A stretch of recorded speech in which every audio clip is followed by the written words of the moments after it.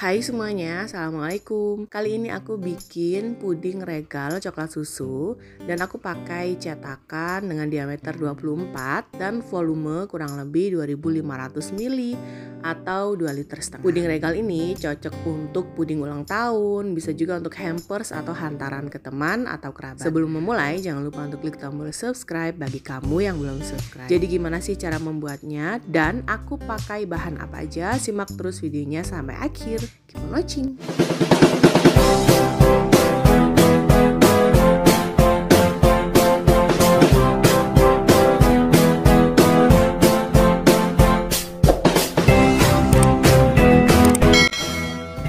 Nah jadi untuk bahan apa aja aku pakai semuanya sudah ada di layar Kamu tinggal copy ulang atau kamu bisa capture layar handphone atau layar PC kamu Selain itu juga aku sudah tulis ulang semua bahan dan juga resep di description box di bawah. Langsung bikin untuk layer yang pertama, aku bikin puding regal. Jadi masukkan gula pasir. Jadi untuk penggunaan gula pasir, kalau bisa gula pasirnya itu yang berwarna putih ya, bukan yang berwarna kecoklatan. Tujuannya nanti supaya puding kacanya ini warnanya bisa jernih. Untuk bubuk agar-agar, di sini aku pakai bubuk agar-agar plain atau tanpa warna. Tapi masukinnya nanti aja setelah si air dan juga gulanya ini mendidih. Kemudian aduk-aduk hingga semua tercampur rata, lalu mulai naikkan di atas kompor dan nyalakan dengan api sedang cenderung kecil. Hingga dia agak mendidih seperti ini ya, jadi tandanya dari pinggirannya ini udah mulai meletup-letup mulai masukkan bubuk agar-agarnya. Lalu aduk cepat jadi benar-benar diaduk cepat agar si bubuk agar-agarnya ini tidak menggumpal. Atau kalau mau cara cepat bubuk agar sebelum dimasukkan ini dicairkan dulu kemudian mulai masukkan ke dalam air gula ini tadi Kemudian aduk-aduk dan didihkan hingga benar-benar mendidih. Setelah mendidih, kemudian matikan api dan biarkan beberapa saat sampai uap panasnya hilang. Sambil menunggu uap panasnya hilang, di sini aku udah siapkan cetakan yang sudah aku beri air kemudian buang ya air matang agar tujuannya nanti pada saat melepaskan pudingnya nggak kesusahan atau nggak kesulitan. Lalu ambil biskuit regal dan mulai tata jadi tulisan regalnya itu ada di bagian bawah ya kalau natanya seperti ini. Jadi tumpuk-tumpuk dan rapikan sesekali hingga semua cetakan tertutup dan sampai benar-benar rapi.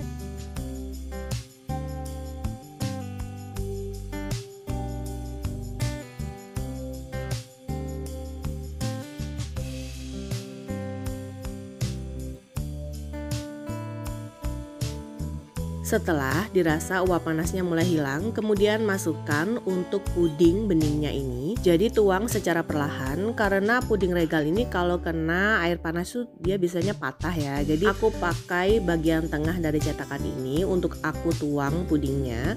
Jadi sedikit demi sedikit dan juga perlahan.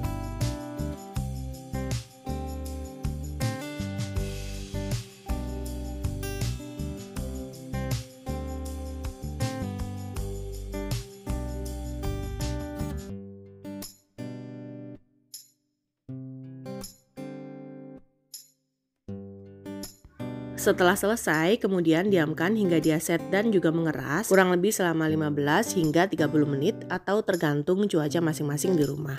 Setelah kurang lebih 30 menit, kemudian puding regalnya sudah set, mulai bikin untuk layer kedua. Jadi aku masukkan satu bungkus bubuk agar-agar plain, kemudian gula pasir, lalu masukkan satu sendok makan tepung maizena, kemudian sejumput garam, aduk-aduk semua bahan kering hingga tercampur rata. Setelah tercampur rata, kemudian mulai masukkan susu cair.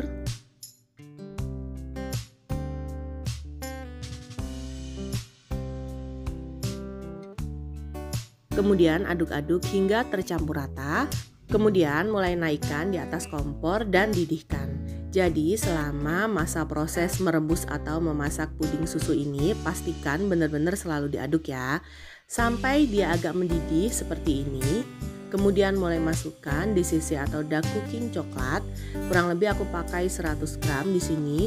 Boleh juga ditambahkan dengan satu sendok makan bubuk coklat atau boleh juga di skip. Setelah itu aduk rata hingga semua bahan tercampur dan juga dark cooking coklatnya ini benar-benar meleleh atau selain menggunakan di sisi atau coklat bubuk, boleh juga menggunakan minuman instan yang rasa coklat ya. Boleh juga itu coklatos atau beng-beng atau apa pun sesuai selera masing-masing. Setelah mendidih, kemudian mulai matikan api lalu aduk-aduk lagi hingga benar-benar uap panasnya itu hilang. Sebelumnya, pastikan untuk layer yang pertama puding regalnya ini benar-benar set dan juga keras. Lalu mulai masukkan puding coklat di atas puding regalnya. Jadi masih sama untuk cara nuangnya juga pelan-pelan karena nanti takutnya merusak dari permukaan atas puding regal. Selain menggunakan gelas takar ini, kamu juga bisa pakai sendok sayur ya untuk nuang puding coklatnya. Jadi perlahan demi perlahan. Setelah itu, diamkan hingga dia set kurang lebih selama 15 sampai dengan 30 menitan. Lanjut bikin untuk layer yang ketiga. Jadi aku masukkan satu bungkus agar-agar plain. Kemudian tambahkan dengan gula pasir. Setelah itu masukkan satu sendok makan tepung maizena dan juga sejumput garam. Boleh juga ditambahkan dengan susu kental manis, tapi di sini aku skip karena aku sudah pakai gula Lalu aduk-aduk hingga tercampur rata untuk bahan keringnya. Kemudian masukkan susu cair dan aduk-aduk lagi hingga tercampur.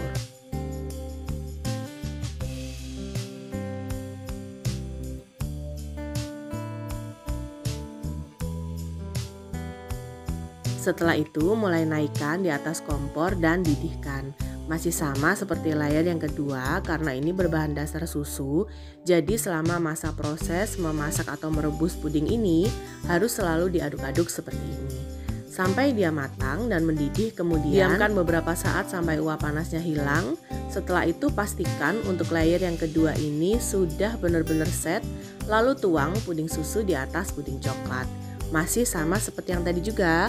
Jadi untuk cara menuangnya itu perlahan demi perlahan. Boleh juga pakai sendok sayur, boleh juga pakai selas takar seperti ini.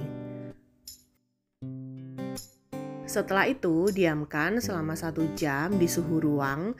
Setelah itu masukkan ke dalam chiller, jadi bukan dimasukkan ke freezer ya. Masukkan aja ke chiller kurang lebih selama 2 jam.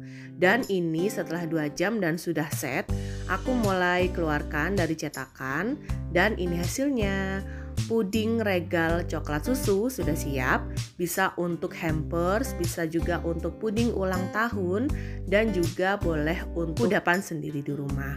Jadi karena di sini aku bikin puding regal coklat susu ini untuk hampers ke teman, aku kasih hiasan atau topper happy birthday di atasnya dan siap untuk dikirim. Gampang kan cara bikinnya? Semoga video ini bermanfaat.